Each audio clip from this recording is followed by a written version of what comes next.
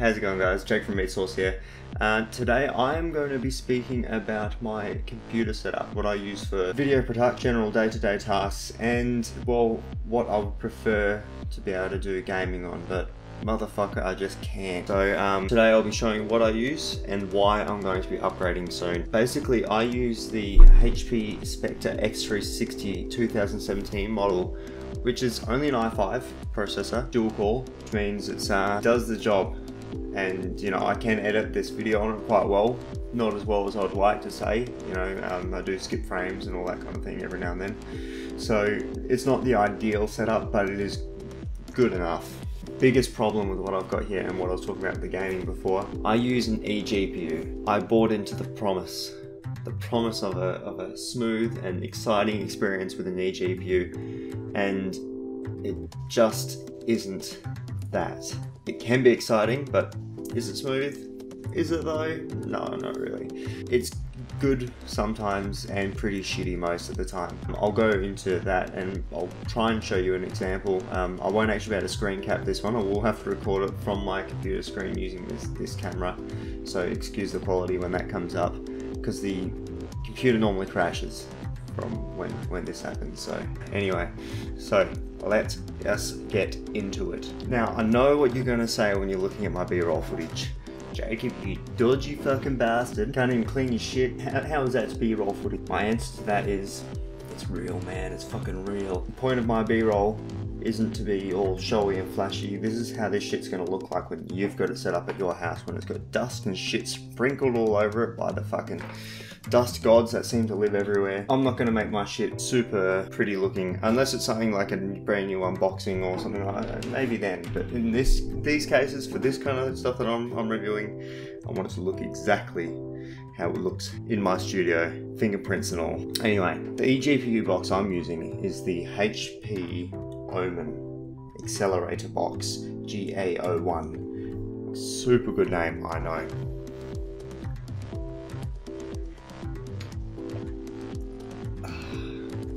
Damn, that's good coffee. Now, why did I go with the Omen accelerator box? Pretty simple, it was cheaper than the rest. It's aesthetically, it's probably one of the bigger accelerator boxes out there. You want to see dimensions, all that kind of shit, Google it. Just Google it. As you can see, it's quite big. Now, the other reason I chose it is because it's got A, a shitload of USB ports, four Type A ports, all running at 3.0 speed, a USB-C port, and the lightning connector that connects it up to the computer. That's where we start hitting problem. It also holds an internal hard drive, uh, a 2.5 inch hard drive. It's up to you.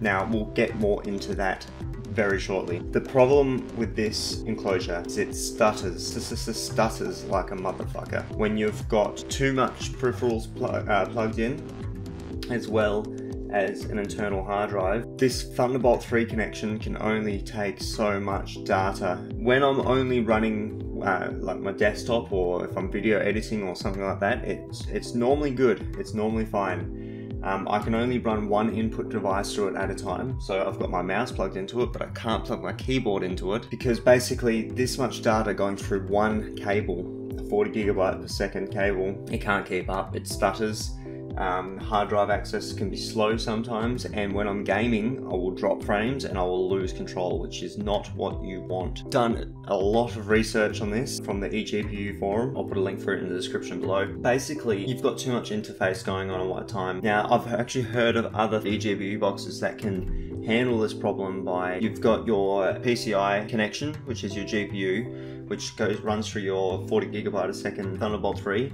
and then you can actually plug in a secondary cable to your computer which will run the USB 3 hub. Now I've heard that this is a much better solution because you're not trying to force all this data through one cable. Now theoretically this should be able to handle it and it could be actually a problem with my HP Spectre, my laptop itself because I've also seen on Linus Tech Tips where he uses a Dell XPS and he has a flawless experience but that being said he's only using the eGPU with some USB um, without the SATA connection as well. So there's so many little kinks and all this to work out here guys that it's just not a flawless experience. So if you're planning on buying an eGPU, I would definitely recommend you do your research first because not every eGPU and every laptop are going to mend together well. It hasn't been terrible and it does give a little bit more of a better experience. My video editing experience has been improved using GPU acceleration,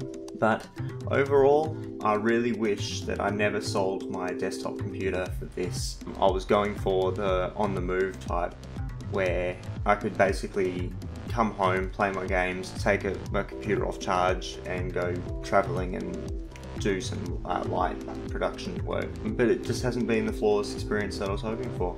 Kind of sad, kind of sad. Anywho, okay guys, um, so I'm going to try and run Arma 3. I'll do Alien Isolation, full, full settings. Now I actually recently uh, reset my computer. Oh, oh, oh.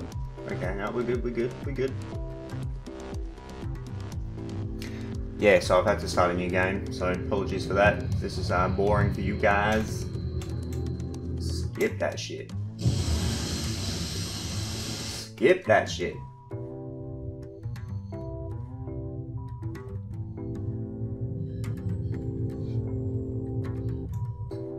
Now, watching this right now, you might be thinking, "Fuck, Jake, this is actually a pretty good experience." Like, you know, what's the what's the fucking issue? I'll, I'll show you what the fucking issue is. It, it, knowing my fucking luck, it's not gonna fucking happen. E Ripley, what does the A stand for?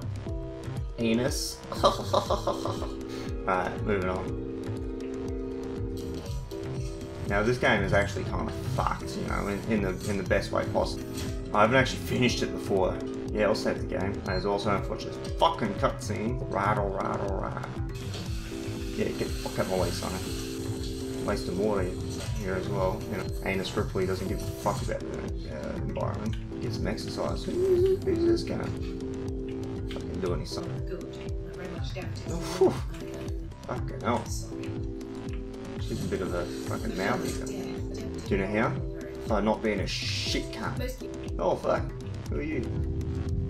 Oh, you're Taylor. Okay. Leave your contact is Marshall mate. You don't want to be docking. All hail Sebastopol. If you know what the remaining of docking is, you don't want to be doing it. Let's get this done. Damn it. It doesn't seem to be doing what I originally said it's going to be doing, guys. But I guarantee you, it does happen. And skip. Oh, okay, guys, that's enough of that. Well, clearly that worked better than I was expecting, um, which is quite weird because every other time, I swear to fucking god, this motherfucker crashes on me. We'll try something that's a little bit more prone to crashes. Let's try Arma 3. This bastard is guaranteed to crash. Hey guys. Oh, I'm coming in hot. Pull up, soldier, pull up. Alright, now this is where my frames will start to suffer a little bit. Arma 3's never really been optimized that well. Yeah. Because I feel like I'm. Oh. Motherfucker! Well, that wasn't very fun. He was clearly an expert. Motherfucker had infinite ammo, I swear to god. Okay guys, we're gonna try one more time. Yeah, my camera just dis disconnected from my computer. And again, I'm gonna put this down to probably being a connection issue with my, my eGPU here. Yeah, fuck you up. Fuck you up. oh, oh, oh. Oh, well that's, that's fucked. Oh, you slut. Okay, that's enough of that. Okay guys, well I was unable to replicate the whole crashing thing, which part of me feels disappointed because, you know, now I seem like a goddamn liar, but at the other same time it's it's pretty good the fact that it didn't crash, so if you are considering buying one, there's an example of it working really quite well. Now, for reference sake, I am actually using a GTX 1080 in my uh, eGPU, which is probably a little bit of overkill because I'm only running an i5 processor in my laptop, so with 8 gigs of RAM. So maybe if I had an i7 and preferably an 8th gen processor with 16 gigs of RAM, that that uh, 1080 will probably be used a little bit better.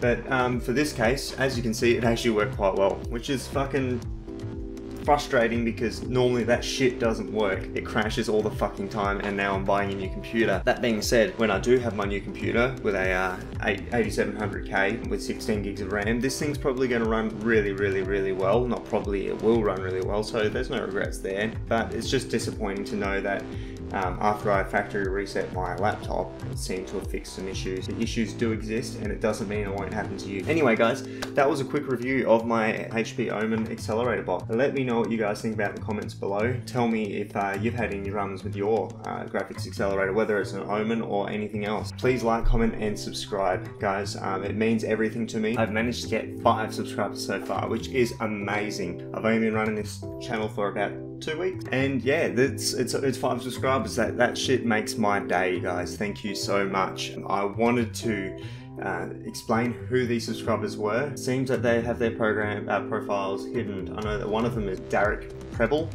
Thanks, man. You are a fucking champion. And there was a couple other guys that I, I can't really remember the names of them right now, but they are there. And if you guys want to throw a comment in any one of my videos, I will definitely give you a shout out. Thank you guys. Please, please like, comment and subscribe and I'll see you guys in the next video. See you later.